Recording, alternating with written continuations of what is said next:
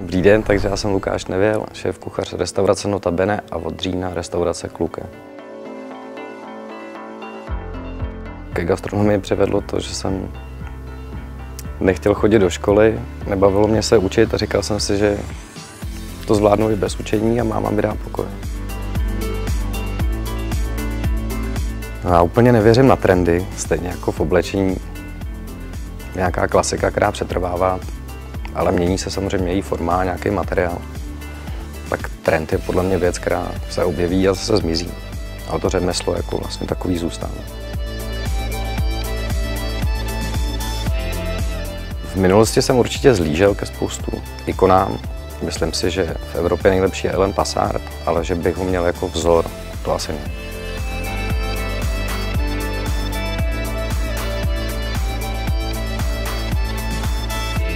Koncept naší restaurace stojí na opravdu těch nejlepších surovinách, které jsou v nějakém rozmezí 250 až 300 km.